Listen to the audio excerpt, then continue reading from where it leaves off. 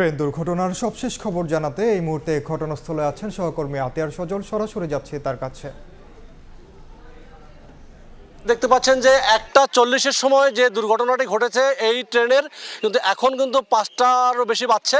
এখন পর্যন্ত কিন্তু এখানে উদ্ধারকারী কোনো ট্রেন বা এসে পৌঁছানোর কথা থাকলেও এখনও এসে পৌঁছেনি। যদিও লাকসাম থেকে এবং চট্টগ্রাম থেকে দুটি উদ্ধারকারী বা রিলিফ ট্রেন এসে পৌঁছানোর কথা, এখন পর্যন্ত যেহেতু এসে পৌঁছানে উদ্ধার তৎপরতা শুরু হয়নি। এর আগে দুর্ঘটনার সময় বা দুর্ঘটনার পরপরই খবর পেয়ে ফায়ার সার্ভিসের তিনটি ইউনিট, তারা এসে কিন্তু উদ্ধার তৎপরতা শুরু করে এবং স্থানীয় উপজেলা প্রশাসন জেলা প্রশাসন থেকে শুরু করে স্থানীয় জনপ্রতিনিধি যারা রয়েছে এবং আশেপাশের স্থানীয় জনতা যারা রয়েছে তারা এসে কিন্তু যে যার মতো করে উদ্ধার তৎপরতা শুরু করেছে এবং যাত্রী যারা ছিল সে সকল যাত্রীদেরকে কিন্তু জানেন এ সকল যাত্রীরা বেশিরভাগই ফেনী থেকে অনেক দূরত্বের যেহেতু ট্রেনটি ছিল ময়মনসিংহ এবং জামালপুরের এবং চট্টগ্রাম থেকে ছেড়ে আসা তার কারণে কিন্তু যাত্রীদেরকে এখানে বিভিন্নভাবে চেষ্টা করা হয়েছে স্ব স্ব গন্তব্যে পৌঁছে দেওয়ার জন্য সব ধরনের ব্যবস্থা তারা নিয়েছে। আর আপনার যদি বলি বিজয় এক্সপ্রেস নামের এই ট্রেনটি আহ, ঘটনাস্থলের এখানে এসে হাসানপুর যে রেলওয়ে স্টেশনটি রয়েছে, তার গত দুই কিলোমিটার আগেই কিন্তু একটি সরু ব্রিজ বা কালভার্ট রয়েছে।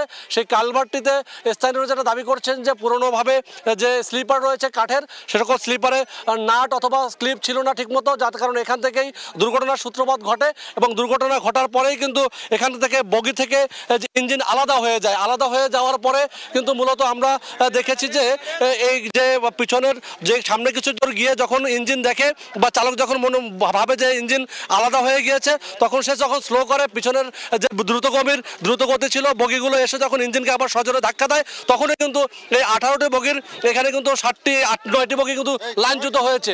লাইনচ্যুত হওয়ার কারণে আমরা কিন্তু দেখতে পাচ্ছি যে এই লাইনচ্যুত হয়ে যে নয়টি বগি এখনও কিন্তু যে এভাবে রয়েছে এবং আমরা কথা বলার চেষ্টা করব এখানকার উপজেলা নির্বাহী কর্মকর্তা যিনি রয়েছেন, ইসমাইল হোসেন আপনার কাছে জানতে চাইব যে আপনারা তো ঘটনার পরপর এখানে এসে পৌঁছেছেন এবং আপনার জেলা প্রশাসন উদ্যোতন কর্মকর্তা আমরা দেখেছি এখানে এসছেন। সর্বোপরি আপনারা ঘটনার পর কি কি দেখেছেন আর আপনারা কি ব্যবস্থা নিয়েছেন যাত্রীদেরকে পৌঁছানোর ক্ষেত্রে? আমরা তো ঘটনার পর পরই এখানে উপস্থিত হয়েছি। এখানে উপস্থিত হয়ে যারা যাত্রী ছিল, আহত যারা ছিল, তাদেরকে আমাদের স্বাস্থ্য পাঠিয়েছি। দুইজন আমাদের উপজেলা স্বাস্থ্য কমপ্লেক্সে ভর্তি আছে এবং তাদের চিকিৎসা চলমান আছে। আর দুইজন আমাদের এখানে স্থানীয় ইউনিয়ন পর্যায়ে একটি বেশ তাদেরকে প্রাথমিক ট্রিটমেন্ট দিয়ে তাদেরকে আমরা তাদের নিজ নিজ গন্তব্যে প্রেরণ করে দিয়েছি। দুইজন যাত্রী ছিল, একজন একেবারে সদ একটি শিশু সহ ছিল। তাদেরকে আমরা অ্যাম্বুলেন্সে করে আমাদের চোদ্দ গ্রাম উপজেলা স্বাস্থ্য কমপ্লেক্সে পাঠিয়েছি।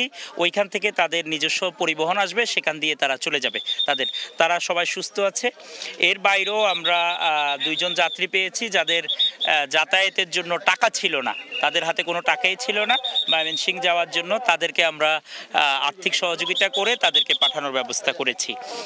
এর এর পাশাপাশি আমাদের যারা রেলের অ্যাটেন্ডেন্ট আছে তাদেরকে আমরা ইফতারের ব্যবস্থা করেছি তাদের ব্যবস্থা হবে। রেলওয়ে কি বলছে কতক্ষণ লাগতে পারে উদ্ধারকারী ট্রেন আসতে বা আমাদের জানা মতে সর্বশেষ গত আধা ঘণ্টা আগে আমার কাছে যে মেসেজ আছে তিরিশ মিনিট পূর্বে সেটি হলো একটি উদ্ধারকারী ট্রেন আসতেছে সেটি কুমিরা পার হয়ে আসছিল আরও আধা ঘণ্টা আগে। আমরা আশা করছি এক থেকে দেড় ঘণ্টার মধ্যেই এটির উদ্ধার কার্যক্রম হয়তো শুরু করা যেতে পারে। ধন্যবাদ শুনছিলেন এখানকার উপজেলা যে নির- বা নির্বাহী কর্মকর্তা ইসমাইল হোসেন তিনি বলছিলেন সার্বিক ছিল বা ওনারা কীভাবে বিষয়টিকে সামাল দিয়েছেন।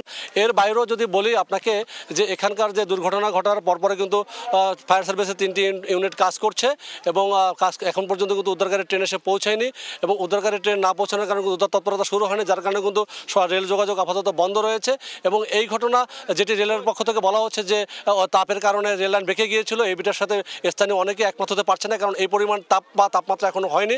এখানে কিন্তু বগি থেকে ইঞ্জিন আলাদা হয়েই কিন্তু এই দুর্ঘটনাটা ঘটেছে বলে প্রত্যক্ষদর্শীরা আমাদেরকে জানিয়েছে। এই ছিল এখানকার আমার কাছে সবশেষ। সরাসরি যুক্ত ছিলাম কুমিল্লার নাঙ্গলকোটে।